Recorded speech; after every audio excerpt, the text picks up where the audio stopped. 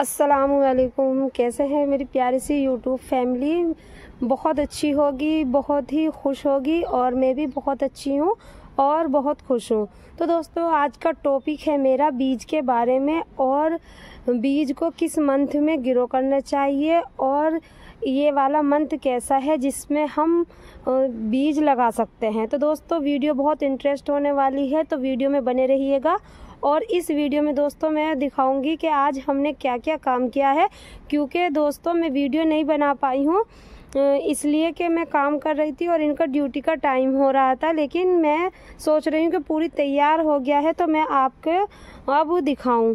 तो दोस्तों चलिए वीडियो शुरू करते हैं। नंबर वन पर आता है दोस्तों, बीजों का ग्रो करना। बीज हमारे जो होते हैं वो बहुत ही छोटे होते हैं और उनके लिए सर्दी, गर्मी और हमें इन चीज़ों का ध्यान रखना चाहिए। ज़्यादा पानी ना हो जाए, कम पानी ना हो जाए तो मैं इस वीडियो में आपके साथ यही शेयर करूँगी। जैसे कि दोस्तों, आप ये सरसों देख रहे हैं। बेस्ट सीज़न है सरसों लगाने का। आप जितनी भी पत्तेदार सब्ज़ियाँ हैं, इस मौसम में आप बहुत अच्छे से ग्रो कर सकते हैं। रिज़ल्ट बहुत अच्छा आएगा। दोस्तों, अक्टूबर और नवंबर का मंथ जो होता है, ये बहुत अच्छा होता है बीज लगाने के लिए। इसमें सारे ही बीज बहुत अच्छे से जर्मिनेट हो जाते हैं। इस मंथ में मौसम बहुत अच्छा होता है दोस्तों। दिन का तापमान गर्म होता है और रात का तापमान ठंडा होता है। इसलिए दोस्तों, हमारे यहाँ बीज बहुत अच्छे जर्मिनेट हो जाते हैं। तो ये मौसम बहुत अच्छा है सब्ज़ियाँ लगाने का, लेकिन आप इस सर्दियों के सीज़न में ज़्यादातर पत्तेदार ही सब्ज़ियाँ लगाएँ। आप देख सकते हैं मेरे यहाँ पर ये सलजम मैंने अभी हार्वेस्ट किए हैं और मैंने इसमें दोबारा बीज डाल दिए हैं। आप देख सकते हैं मैंने यहाँ पालक ग्रो कर रखा है तो आप पालक का भी अपडेट देख देखिए कितना अच्छा हो रहा है। दोस्तों, ये मौसम बहुत अच्छा होता है पत्तेदार सब्ज़ियाँ लगाने का। तो आप अपने घर पर अभी पत्तेदार सब्ज़ियाँ लगा लीजिए। ये मौसम सारे ही बीजों के लिए बहुत अच्छा होता है। आगे जब सर्दी हो जाएगी तो बीज जर्मिनेट होने में हमें परेशानी होगी। तो दोस्तों, ये तो रहा हमें बीज कब लगाने चाहिए और ये मौसम बहुत अच्छा है बीज लगाने का। तो दोस्तों, इस वक्त मैंने बताया आपको बीज लगा दीजिए। और अब आते हैं दोस्तों, मैंने अपने गार्डन में क्या क्या काम किया है आज। और मैं आपको यहाँ से शुरू करती हूँ। तो देख सकते हैं दोस्तों, यहाँ पर पहले बहुत सारे बीज मैंने लगा रखे थे तो वो वहाँ यहाँ पोट सारे रखे हुए थे। तो दोस्तों, अब हमने यहाँ से ये हटा दिया है और ये हमारे यहाँ पर स्टैंड पड़ा हुआ था तो मैंने इस स्टैंड को ऐसे रख दिया है अभी।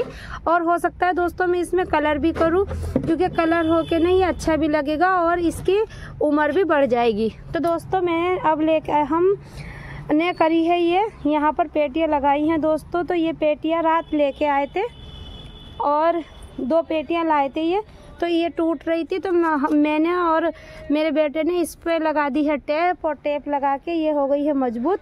तो दोस्तों, इस जगह पर रख दिए हैं मैंने ये सारे के सारे तीन पेटियाँ। और पेटी भी जो रखी है दोस्तों, नीचे देखना, तख्ता लगाया है जिससे कि हवा आ जाए छत में और पानी जो है वो भी निकल जाए नीचे सीलन ना आए। तो आप भी दोस्तों डायरेक्टली पोट ना रखें नीचे थोड़ा सा उठा के रखें छत पे, क्योंकि नीचे हमारी सीलन आ जाएगी और जो हमारे पौधों को जड़ों में हवा भी बहुत अच्छे से पहुंचेगी।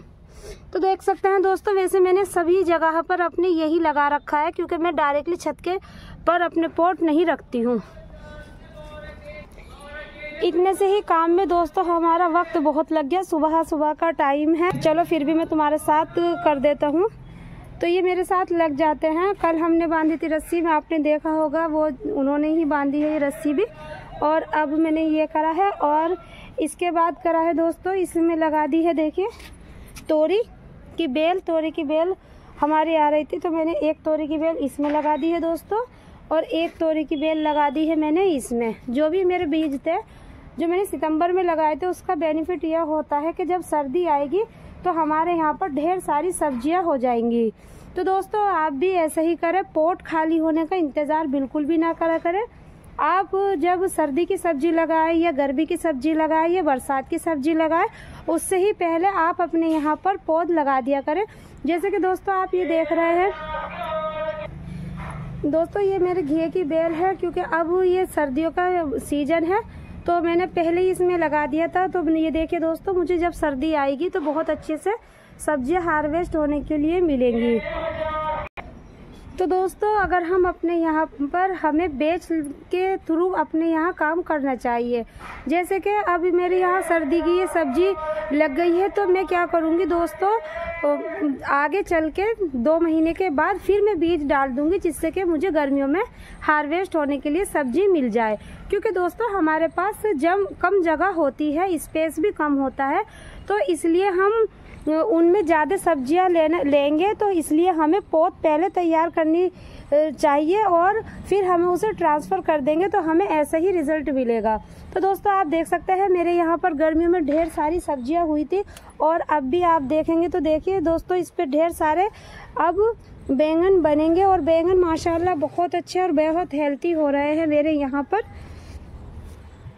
और माशाल्लाह जितना दोस्तों मुझे अल्लाह पाक दे रहा है, कल इस पे ना बैंगन मैंने आपको दिखाए भी थे तो इसमें से ले गया है शायद बंदर, क्योंकि बंदर आ जाता है, कोई नहीं, बंदर का भी पेट भर जाएगा तो हमारा भी पेट भरेगा, क्योंकि हो सकता है दोस्तों वो दुआ करें और हमें ऐसी ही सब्ज़ियाँ हार्वेस्ट होने के लिए मिले।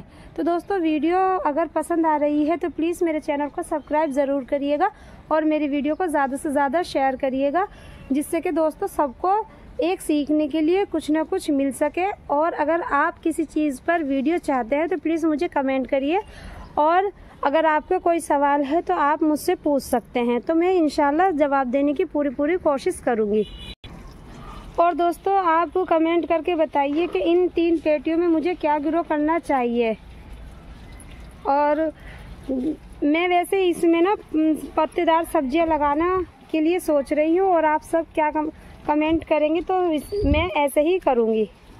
तो चलिए दोस्तों, ये देखिए वैसे इस प्लांट पे कितने ढेर सारे फूल आ रहे हैं और ये तो बहुत ही अच्छा लगता है प्लांट आप देख सकते हैं, इसके जो फूल होते हैं ना, इसके एकदम रानी कलर के होते हैं। तेज पिंक नीचे से होता है, लाइट पिंक ऊपर से होता है। इसका कलर जो होता है, बहुत ही प्यारा सा होता है।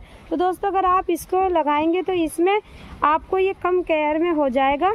और दोस्तों, अगर ये देखें, इसके अंदर बीज यहाँ से निकल जाते हैं। अगर आपको कहीं आसपास से मिले तो आप अपने गार्डन में इसको ज़रूर ऐड करें।